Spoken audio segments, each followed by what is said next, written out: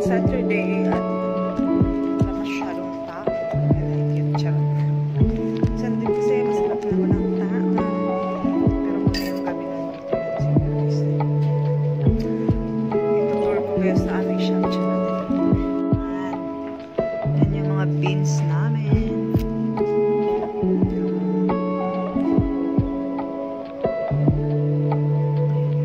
Medyo malaki din yung shop na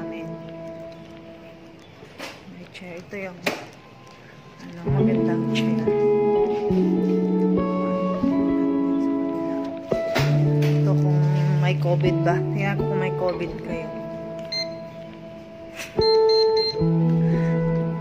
Ah, wala. Low daw. Hindi mabasa, guys.